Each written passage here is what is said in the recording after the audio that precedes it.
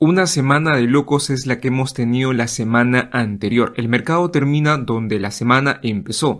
Después de una fuerte caída que tuvimos el día lunes, pues el mercado se ha recuperado al último día viernes. Prácticamente hemos llegado a los mismos niveles donde empezó todo. Aquí también Carson nos dice, ¿no? La semana pasada nos prometieron una crisis y una recesión. Al final las acciones cerraron exactamente sin cambio alguno, según Carson.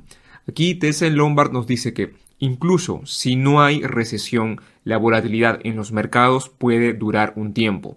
Nuestro análisis de episodios de volatilidad anteriores muestran que las acciones tardan aproximadamente 4 a 5 semanas en promedio antes de que comience una recuperación de forma sostenida. Sin embargo, aquí Edward Jones nos dice que los rendimientos después de las caídas y las correcciones respaldan la idea de mantener la calma y la inversión vemos que cada vez que hemos tenido pues eh, episodios de retrocesos, caídas, eh, pues el mercado se ha recuperado inmediatamente después, ¿no?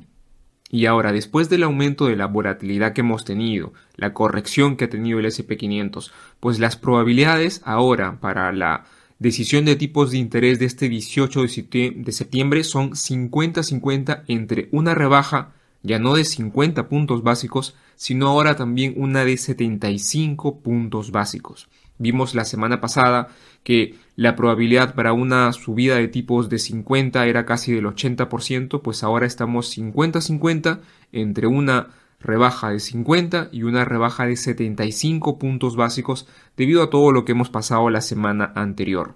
Aquí Goldman Sachs nos vuelve a recordar que las acciones tienden a tener un buen desempeño después de que comienza el ciclo de recortes de la Reserva Federal, pero cuando sucede un crecimiento débil, cuando no hay crecimiento, cuando estamos en una recesión, pues esto no es eh, lo que ocurre normalmente, sino que vemos que pues el SP500 tiende a tener una caída. Recomendaciones que hace aquí Goldman Sachs, pues estar diversificados en distintos sectores y también en distintas geografías. Esto es lo que recomienda Goldman Sachs. Y ahora, ¿qué hicieron los grandes? Pues aquí según S&P Global Market Intelligence nos dice que las instituciones, los fondos de cobertura y también los inversores minoristas han continuado vendiendo sus tenencias en el mes de julio. Este es el mes que ha pasado, ya que el reapunte de las acciones mostró signos de fatiga y a buena hora esos inversores que han logrado vender sus posiciones o parte de sus posiciones en buen momento. Aquí también eh, lo que nos indica eh, S&P Global es que en los últimos seis meses los inversores minoristas han sido vendedores netos de acciones bastante agresivos. Sospechamos que los inversores minoristas simplemente están emprendiendo una toma de ganancias a medida que los mercados continúan subiendo. Vemos de hecho que en primer lugar de las posiciones más vendedoras son los institucionales, seguidas aquí de los inversores retail. Ahora, más recientemente también tenemos información. Goldman Sachs nos dice que los fondos de cobertura compraron durante la caída del lunes a un ritmo más rápido desde marzo. Vemos aquí el gran volumen de eh, compras que se realizaron, que realizaron específicamente los fondos de cobertura. Y lo mismo podemos ver aquí. Eh, aquí se han comprado prácticamente todo lo que es eh, información de tecnología, todo lo que tenga que ver con, con este sector de tecnología. Y vemos que de hecho han sido compras que se han dado, no han sido compras que han roto máximos o han salido de máximos, no, pero sí han sido compras importantes que han estado realizando los fondos de cobertura. Ahora, Bloomberg también nos dice que Brent Schutz de eh, Northwest Mutual Wealth Management nos revela que invirtió 2.700 millones de dólares en el ETF TLT el pasado 24 de junio. Y justamente debido a esto fue el gran volumen que se tuvo aquí, eh, esta, esta vela de aquí, justamente por estas fechas. Ya sabemos a quién es el responsable de esto. Y su plan es mantener la posición en las carteras minoristas durante al menos un año, bajo la opinión de que un enfrentamiento del mercado, un enfriamiento, perdón, del mercado laboral provocará una recesión, que también han estado haciendo los grandes, pues los fondos de préstamos basura de los Estados Unidos sufren la mayor salida en cuatro años. Inversores retiraron 2.500 millones de dólares de los fondos que invierten en préstamos basura o apalancados durante la semana hasta el 7 de agosto. Las salidas se producen después de que uno eh, de los datos de empleo estadounidenses más débiles de lo esperado a principios de agosto reavivarán los temores de una recesión.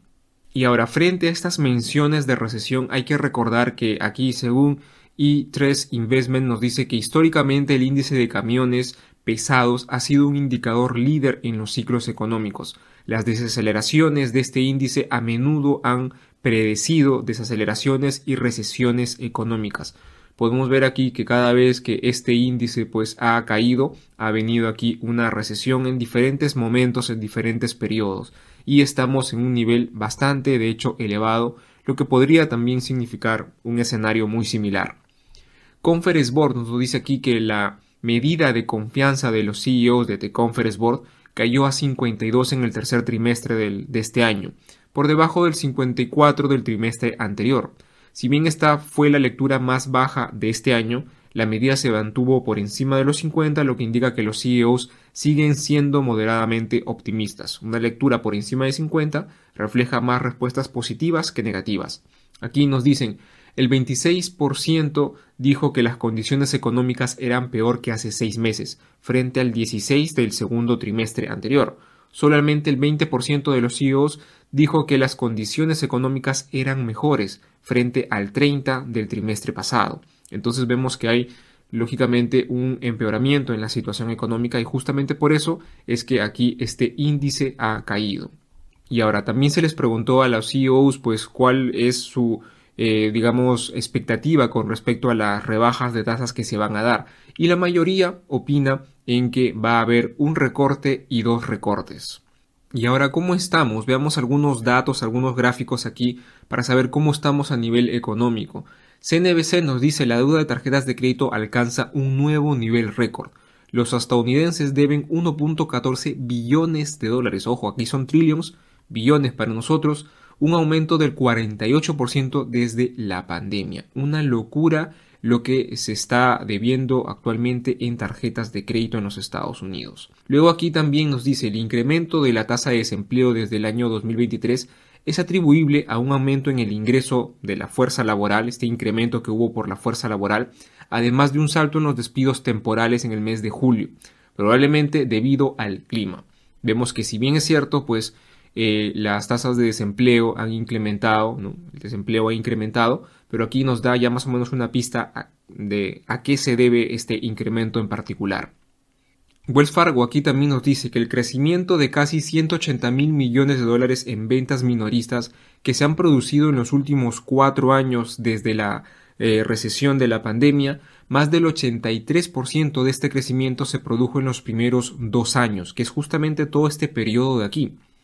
Esperamos que los datos de julio que van a venir esta semana sigan mostrando un ritmo moderado de crecimiento. Las perspectivas para las ventas minoristas durante el resto del año se ven limitadas por una desaceleración del mercado laboral y un crecimiento más lento de los ingresos reales. Nuestro siguiente tema, ¿dónde invertir? Aquí el Society General nos dice que acciones de los Estados Unidos son ahora por primera vez más atractivas que eh, los bonos desde junio del año 2023. Hemos pasado un buen tiempo en donde los bonos para los inversores eran pues la mejor opción. Al día de hoy ya vemos nuevamente que las acciones de los Estados Unidos pues resultan ser más atractivas. Aquí tenemos el rendimiento de los eh, primeros 424 días del mercado alcista. Eh, se compara con otros mercados alcistas, excepto en una fecha que es justamente con el SP500 Grow, que ha tenido un rendimiento mayor que durante otros ciclos alcistas. Y esto se debe justamente a la política monetaria actual de la Reserva Federal, que ha permitido que este rendimiento se concentre en un grupo muy pequeño de acciones que ya sabemos cuáles son.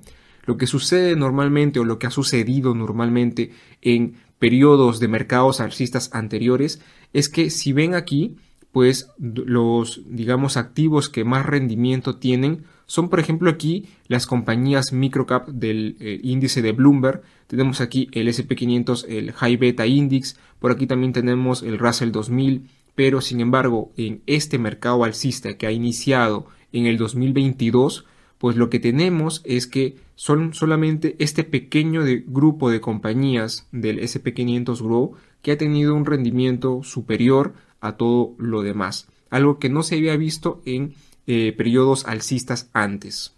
Top Down Charts aquí nos dice que cada pocas décadas experimentamos un cambio cíclico en que los inversores pasan de sobreponderar las acciones de los Estados Unidos a reasignar más capital a otras regiones.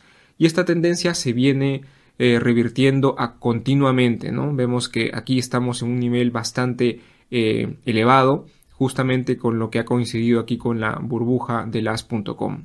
Aquí Crescat Capital. Este gráfico ilustra vívidamente los cambios en el liderazgo del mercado que a menudo experimentan a lo largo del tiempo. Vemos que justamente cuando estaba aquí la tecnología en eh, la crisis de las .com en su punto más álgido, pues lo que sucedía con el resto de sectores commodities, materiales y energía es que estaban en su punto más mínimo. Y cuando esto se dio la vuelta, pues este sector de aquí o estos sectores energía y materiales fueron los que tuvieron el mejor rendimiento. Y ahora estamos en un escenario pues muy similar, donde la tecnología sabemos que está en un punto bastante elevado, bastante álgido, y pues los otros sectores, energía y materiales, sectores commodities, pues están en niveles mínimos. Bloomberg nos dice que la ley de chips podría cubrir casi la mitad del costo de fabricación, sin embargo, los problemas de las principales favorecidos aquí Intel, TSMC, Samsung y, Micron Technology pues podrían poner en problema el futuro de los chips en los Estados Unidos. Sabemos que pues Estados Unidos con esta ley lo que busca es impulsar este crecimiento de chips justamente en Estados Unidos. McKenzie nos dice el nivel de adopción informado por los propios encuestados aquí en esta encuesta de McKenzie eh, por Tendencias tecnológicas en 2023 nos dice que las tecnologías maduras se adoptan más ampliamente y a menudo sirven como facilitadores para tecnologías más incipientes. Lo que podemos ver aquí, por ejemplo, es que en la parte de computación en la nube vemos que el 22% de los encuestados pues están en una etapa de full escalamiento, tienen digamos esta tecnología ya bien implementada. Aquí en el siguiente grupo un 26% lo están escalando y por ejemplo vemos que un 25% no está invirtiendo aún en eh, la computación en la nube. Pero sin embargo, si nos vamos a tecnologías más modernas como el futuro en el espacio, tecnologías que tengan que ver con el futuro en el espacio, pues vemos que un 57% de todos los encuestados no están invirtiendo aquí en esta tecnología. Y la idea con esta gráfica es poder ver dónde va a estar el futuro, dónde podemos encontrar, pues, eh, digamos, tendencias a futuro, ya que vemos que en algún momento las tecnologías, por, eh, digamos, los viajes espaciales, todo lo que tenga que ver con el futuro en el espacio, en algún momento esta parte de no invertido pasará a estar aquí, a, por ejemplo, full escalado, que em, está totalmente implementado, o esta parte pues va a comenzar a caer y nuevamente eh, pues habrá otras tecnologías a futuro que pasen por el mismo proceso. Aprisitas aquí nos dice los responsables políticos estadounidenses han adoptado una postura mucho más activista hacia la industria de semiconductores, implementando una estrategia doble para asegurar una cadena de suministros de chip nacional y negarle a los rivales geopolíticos como China. Vemos este gran incremento que ha tenido justamente la parte de computación electrónica, ¿no? Bien, aquí eh, Apolo nos dice que en Estados Unidos hay más de 5.000 centros de datos frente a Alemania que tiene el segundo puesto y al Reino Unido que tiene el tercer puesto y también China, ¿no? que tiene aquí el cuarto puesto. Pero para que vean la diferencia de centros de datos que tienen los Estados Unidos. CB Insight nos dice que las principales operaciones de capital en el segundo trimestre del 2024 fueron estas. La idea con esta gráfica es conocer qué empresas están aquí, en qué empresas hay capital que se está invirtiendo, en qué sectores están, para saber más o menos qué es lo que están buscando actualmente los inversores en empresas que podrían ser, digamos, empresas del futuro. Estas empresas todavía a la fecha aún no cotizan, pero si en algún momento llegasen a cotizar, pues ya podemos saber por dónde es que van los inversores eh, al momento en que colocan su capital, qué sectores van, por qué empresas van. Bien, para terminar esta sección, el indicador del Bull del BOFA cae a 6.3. Bueno, nada más que decir aquí. El siguiente tema, resultados trimestrales y datos macro. Tenemos resultados trimestrales, compañías, eh, por ahí algunas interesantes, ¿no? Home Depot, Walmart, por ahí John Deere, Alibaba, eh, no lo sé, New quizás, UBS, Cisco, pero definitivamente no tenemos compañías que mueven el mercado, pero sí compañías interesantes. Y a nivel de datos macro, tenemos inflación de los Estados Unidos el día miércoles, que va a ser el día más importante de la semana. Un día antes tenemos el índice de precios de productores y por ahí también tenemos eh, algunos datos de eh, el Reino Unido, tasa de desempleo, por ahí PIB, inflación también. Los siguientes son los IPS estimados de empresas seleccionadas para la siguiente, para esta semana y pues esto ya lo utilizan como lo crean conveniente. Análisis técnico del, SP, del SP500. Bueno, eh, la sangre de los mercados continuó el día lunes de la semana anterior, incluso superando los niveles que se habían indicado la semana previa. Eh, se había indicado niveles de los 5.300 a los 5.263 puntos, justamente este nivel de aquí de resistencia pero pues como sabemos todos, el SP500 rompió con fuerza este, este, esta resistencia de aquí, de hecho abrió el mercado ya así, rompiendo este, esta, este soporte de aquí y este, lo que ha hecho continuamente es pues ir en aumento hasta recuperar los niveles que se han tenido en la apertura de la semana, ¿no? ¿Qué es lo que podría pasar esta semana? Pues esta semana el precio podría eh, volver a buscar los 5.400 puntos, podría volver a buscar esta zona. Y eh, en caso de que los datos sean malos para esta semana, el dato más puntual y más relevante que tenemos es el dato de inflación. Si este de aquí es un dato malo para la bolsa, pues el SP500 podría seguir cayendo podría volver a caer hacia nuevamente buscar estos 5200 puntos y quizás posiblemente los vuelva a pasar. Y otra cosa que también quiero agregar aquí es para que vean eh, que justamente el precio eh, al momento en la caída que ha tenido máxima el SP500 se ha acercado mucho a esta línea de aquí de eh, soporte de los 5100 puntos, 5107 puntos, ¿ya? Pero recordemos que eh, no siempre el precio pues cae justo en la línea, ¿no? Sino más que una línea son zonas, aquí se colocan simplemente como líneas, pero más que una línea son zonas donde los precios pues se apoyan, eh, digamos, o surgen ahí movimientos o surgen cambios. Y bien, eso es todo por el día de hoy. Un saludo y que tengas excelentes inversiones.